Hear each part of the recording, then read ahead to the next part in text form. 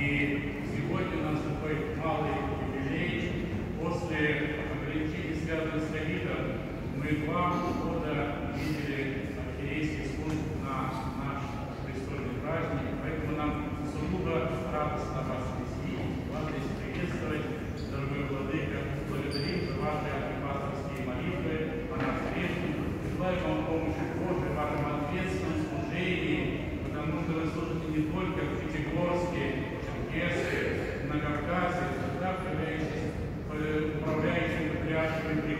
приходами в Туркменистане, прекрасно знаете особенности служения в исламских странах, а сейчас вы также временно управляете вдов- вдовствующей э, епархией в Азербайджане.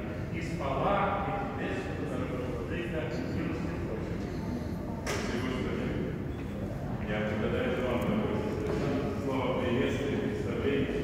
И прежде всего, дорогие отцы, дорогие братья и сестры, мне бы хотелось передать всем вам благословение от предстоятеля нашей церкви, от святейшего патриарха Московского и всея Руси Кирилла, по благословению которого сегодня я совершаю здесь молитву и вместе с вами совершаю престольные торжества нашего храма.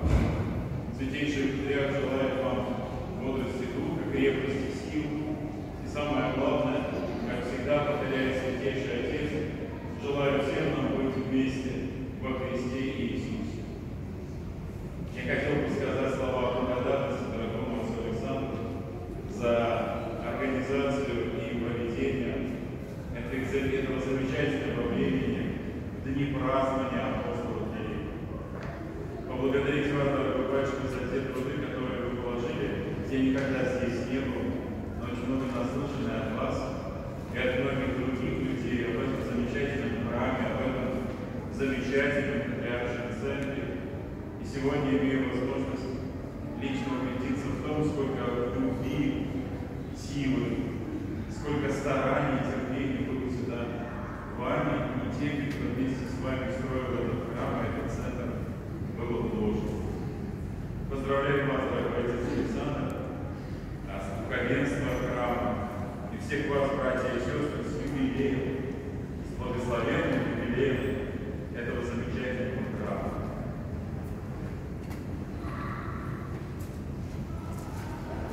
Среди людей, которые сегодня молятся в храме, конечно же, можно о многих говорить. Я думаю, что отец Александр это сделал бы с особой радостью, зная каждого из вас, ваши семьи, жизни многих из вас.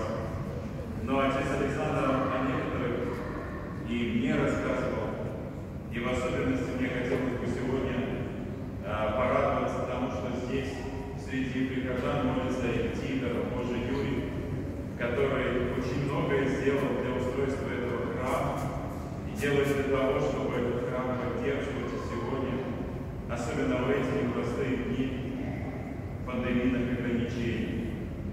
Дай Господи всем верным чадам крепкой веры, в делах преуспеяния и помощи от Господа в том, чтобы нам сохранять наше единство в вере и наше единство по отношению к другу.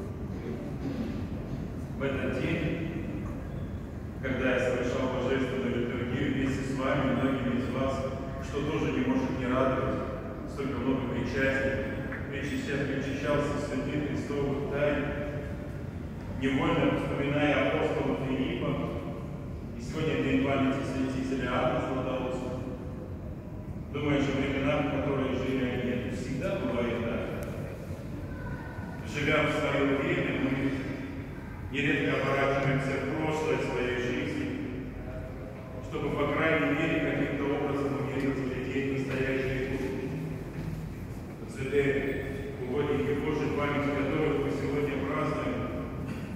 Учителя в свое время называли его так же, как и мы называем свое время нелегким и с многими испытаниями.